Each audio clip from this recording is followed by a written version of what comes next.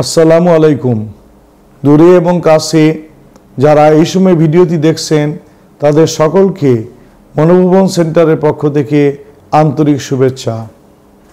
আমি ডাক্তার হারুনুর রশিদ, একজন মানসিক রোগ বিশেষজ্ঞ। আজকে আমি আপনাদের সাথে যে বিষয়টি নিয়ে আলোচনা করব, তা হলো মানসিক রোগীদের প্রতি কী ধরনের আচরণ করা উচিত? এবং মানসিক রোগীদের সাথে কী ধরনের আচরণ করা হয়? এটা আপনারা সবাই জানেন যে মানসিক রোগীরা মানসিকভাবে অনেক দুর্বল থাকে। তাদের জাজমেন্ট কম থাকে। তাদের আচার আচরণ অস্বাভাবিক থাকে। একজনের যদি অস্বাভাবিক আচরণ নাই থাকে, তাহলে তাকে আমরা মানসিক রোগ তো বলতেই পারব না। অস্বাভাবিক আচরণ, অস্বাভাবিক অ্যাটিটিউড এবং তার স্বাভাবিক স্বাভাবিক জীবন যখন যখন ব্যাহত হয় তখনই আমরা এটাকে মানসিক রোগ বলি। মানসিক রোগীদের প্রতি আমাদের আমরা যে আচরণটা করি, এটা হলো অত্যন্ত নিষ্ঠুর। আমরা এটাকে স্বীকারই করতে চাই না যে তার এই অ্যাবনর্মাল বিহেভিয়ারের পিছনে একটা মানসিক রোগ লুকায়িত অবস্থায় আছে। আজকে আমার ভিডিওটি করার উদ্দেশ্য হচ্ছে যে আপনারা যেন মানসিক রোগীর রোগীদের প্রতি সহানুভূতিশীল হন এবং তাদেরকে ট্রিটমেন্টের আওতায় নিয়ে আসেন। তাদেরকে অকারণে দোষারোপ না করেন, তাদের উপর নির্যাতন না করেন। আপনারা হয়তো বুঝে করতেছেন না, কিন্তু না বুঝে অনেক মা বাবা তার সন্তানের উপর নির্যাতন করেন। এই নির্যাতনের ফল রোগ আরও বৃদ্ধি পায় এবং অনেক ক্ষেত্রে আত্মহত্যা ঘটনা পর্যন্ত আমরা দেখেছি। হাতের পাঁচটা আঙ্গুল সমান না সবা সব বেবি সমান না। আমরা বলি easy child and difficult child সুস্থ বাচ্চাদের আপনাকে অত গাইড করতে হবে না এবং অত হিসাব করেও কথা বলতে হবে না।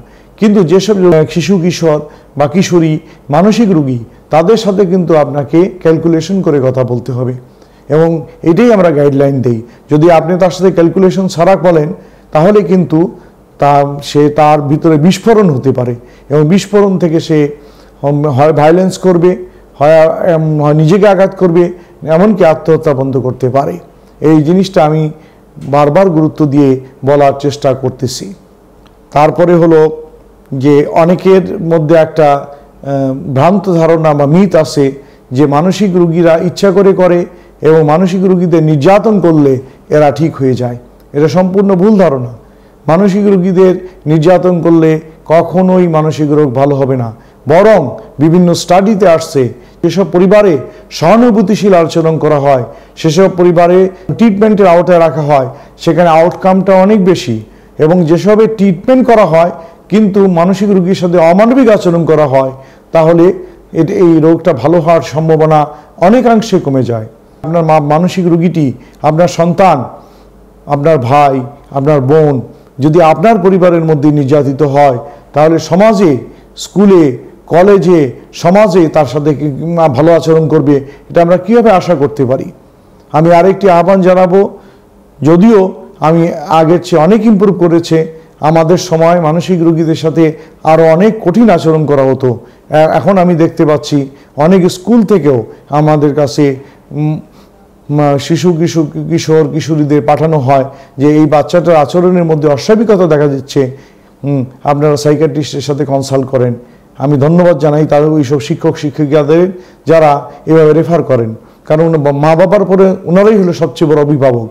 মা বাবা যতটা দেখে তার চেয়ে অনেক বেশি ওনারা অবজার্ভ করেন। অতএব যদি যদি যদি কারও আচরণের মধ্যে সে শিশু, কিশোর, কিশোরী হয়, কোনো অস্বাভাবিক আচরণ দেখা যায়, অথবা সে মানসিক রোগ রোগ রোগ, রোগ- রোগে আক্রান্ত, এটা শনাক্ত হয়, তার সাথে মানবিক আচরণ করবেন। তারকে মানবিক আচরণ করবেন। তাকে খেপাবেন না। তার থেকে বুলিং করবেন না, তার উপর অত্যাচার করবেন না। এটি পাপ। মানসিক রুগীরা ভালো আচরণ পাওয়ার যোগ্য। আপনি যত ভালো আচরণ করবেন, সেও আপনার সাথে ভালো আচরণ করবে এবং আউটকাম অনেক ভালো হবে। কিন্তু দুঃখজনক হলো সত্যি, মানসিক রুগীদের যেভাবে নির্যাতন করা হয়, সেই নির্যাতনের বর্ণনা আমি এই ভিডিওতে দিতে চাচ্ছি না।